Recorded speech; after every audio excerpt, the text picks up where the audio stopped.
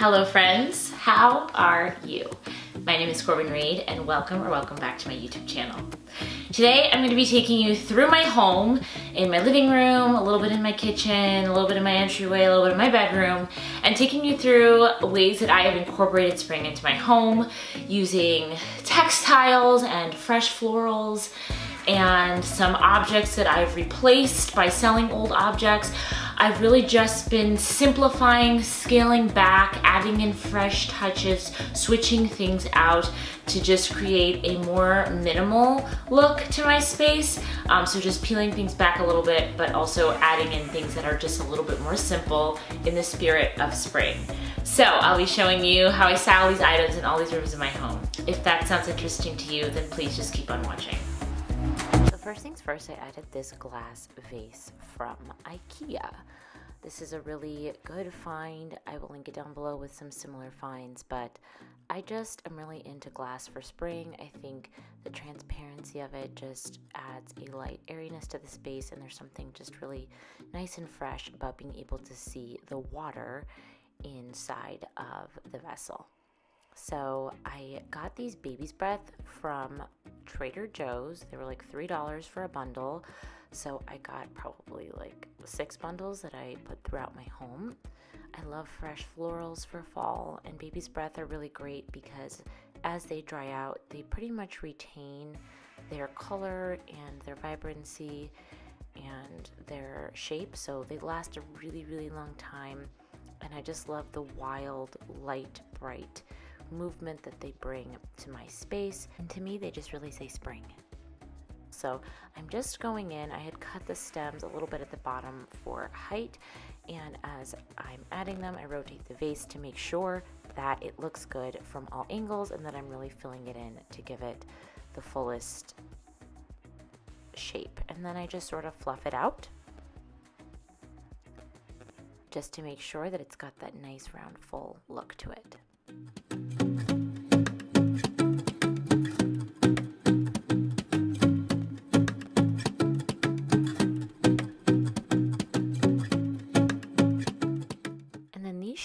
Are an Amazon find. I absolutely love them. They feel super luxurious and they cut just about any stem you can think of. You could literally go forage with these. They're super heavy duty and I love the wood handle. So I will link those down below. In this corner, I have this Elmwood side table that I got from Olive Atelier, and I'm adding this new book from Rose Tarlow. I absolutely love this book. Her style is a lot of 18th century pieces. Um, I would say most of her stuff is antiques.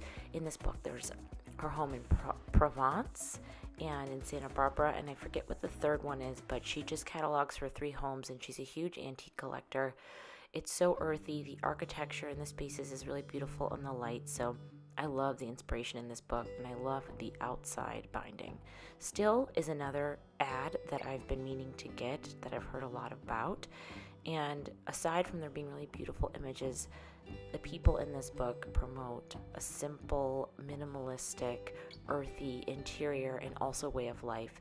So it just catalogs how they use simplicity and stillness to add richness and fullness to their life. So I love the message and I love the images. So I just set these two new finds on top of the Elmwood side table. And I love the way it looks next to the fireplace. I'll also have these linked on my Amazon storefront and see if I can find a couple of Elmwood side tables that are similar since that one is vintage. Then on top of my mantle, I like to keep it really, really simple.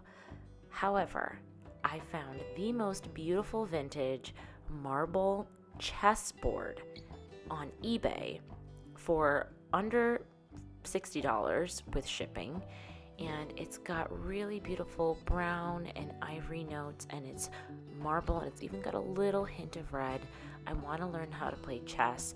My husband told me he would teach me how to play, so I thought it would be a fun thing for us to actually use, but it's also a really beautiful thing to look at that I think we will have forever. Um, so it's both functional and beautiful, two of my favorite things to combine. I just really think it plays into the color story in my living room, and I love the texture and the depth that it adds. Next up, I have this sheepskin chair, which I absolutely adore. But when I sit here, I have nowhere to put my stuff. So I added this side table from Target. It's a Magnolia Home side table. It's marble and brass, and it was under $40. I got it on sale, and it's just great to be able to put my drinks on and my phone on when I'm sitting there instead of having to drag the other side table that I have in my living room. I got really lucky. This one, this marble has a lot of really beautiful veining and movement, and for the price, I think it's fantastic. It's heavy, it's not going to fall over, and it seems like a piece that, for the price, will last forever, but just in general will last forever. And then I've just really been lightening up my space. I had these mirrors that I got um, from an estate sale. They're antique, or they're Horchow mirrors, not antique, sorry, that are gilded gold mirrors. They're beautiful, but I wanted something light and simple, so I sold them on Facebook Marketplace and got these simple wood arched mirrors. They got a really simple um, frame and it's minimal and it's chic and it just makes the space feel light. They're a very similar height and I love the way it reflects the light in the room. It again plays into the color story of my living room and then um, I had two of those mirrors so I put a second one um, as you come up the steps uh, to my kitchen and living room on the other side so they kind of act as windows um, and reflect the light all around the kitchen and the living room. In my bedroom, I still had this really beautiful velvet pottery barn quilt set that I got around the winter time on my bed. It was pretty chilly in LA up until recently, and I just wanted to switch out the textiles to something that felt lighter and more spring like. I'm sure I will bring this quilt back out in the winter time or maybe even the fall. So I just started off with the duvet again. This is a set that I got from a brand called Piglet, and they make really beautiful, affordable linens. This is in the oatmeal stripe. I'll link it down below if it's still available, or I'll try to find something similar as usual. But I love this as just a really nice, light, airy base, and it's more interesting than just a plain white or a plain oatmeal duvet, which I do also have in a linen. This is just more texture. So this Studio McGee block print blanket I absolutely love. I got it from Target and it was very affordable and it just has a really lovely heavy um, feel but it also looks lighter because it's not velvet um, and I just love the vintage feel but it also just feels fresh and homey and cozy and I did paint my walls um, since my bedroom makeover which if you haven't seen I will link it above. I used to have it in a Farrow and Ball French gray, but I lime washed these walls with a color from Work. So I'll be sure to give you guys a better look at that later. These pillows are 26 by 26. They are from IKEA. Again, very affordable. They're 100% cotton. They're simple. And then I got one sham from the Studio McGee line to match the quilt.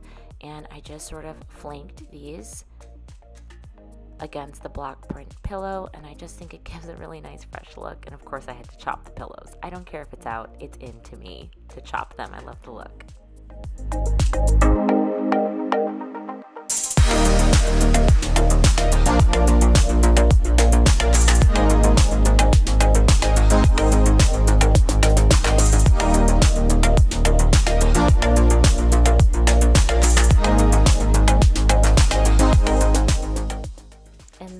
Space I decorated is my entryway. I, I am, have an entryway makeover video coming for you guys. I did a lot in here with some lime wash and picture frame molding and vintage lighting and so on. But this is a piece that I restored.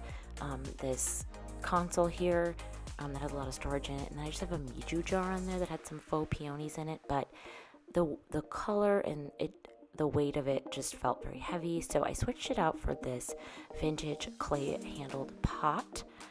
And you cannot put water in these because they will dissolve into mud. So I use a smaller glass vessel with water and I just added the rest of the bundles of the baby's breath that I have in here.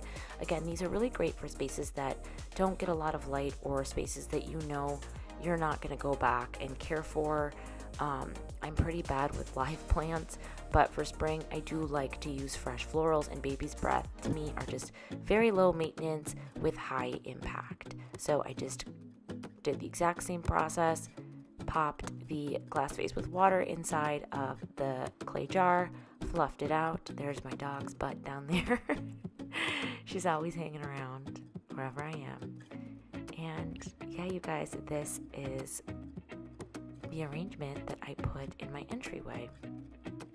I really feel like I'm getting to a place in my home where I have a very consistent color palette and texture palette. Everything speaks to each other, and it's very exciting. And I can't wait to reveal, start revealing these spaces to you guys. But little by little, I'm giving you little sneak peeks. So this is how I added spring to my entryway. Everything I've done is super cost effective and easy for you to incorporate into your own home.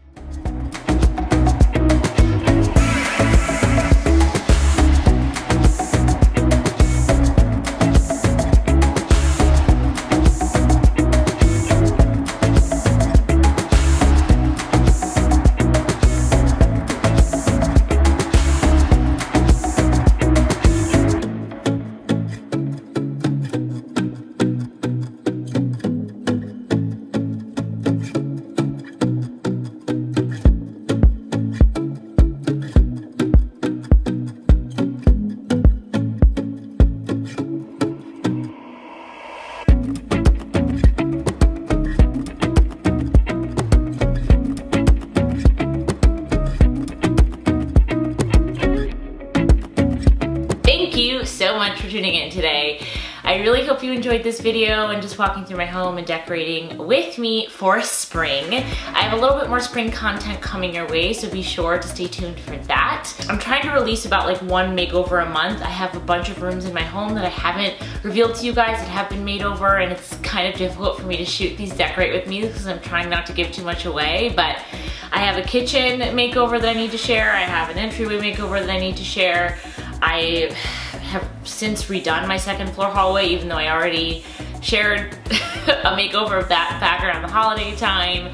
I have a loft nook makeover that I turned into a movie room that I need to share. So there's a lot, there's a lot, a lot, a lot. And I'm just trying to roll it all out and spread it out uh, uh, so I can give you guys good, good content. If you're not already subscribed to my YouTube channel, please be sure to smash that subscribe button, hit the notification bell so you do not miss any of my upcoming videos. If you're not already following me over on Instagram, please be sure to go follow me over at storied design underscore with Corbin Reid. I share a lot of the BTS behind the scenes when I'm doing DIY projects or daily inspo for other accounts that I follow and get inspiration from and just scenes and moments from around my own home. So please be sure to follow me over there. Also, be sure to check out my LTK. I'm sort of slowly arranging it so that you guys can shop rooms that I'm showing you and objects that I'm showing you in a more organized manner in these videos. So be sure to follow me over there so you don't miss out on that. Of course, I always link the items you will see in this video in the description box down below. So be sure to check that out if you see anything in this video and you're like, where can I buy that? It's always in the description box if it is linkable. And yeah, you guys, that is it for me this week. Thank you so much for tuning in and I will see you in the next one. Bye.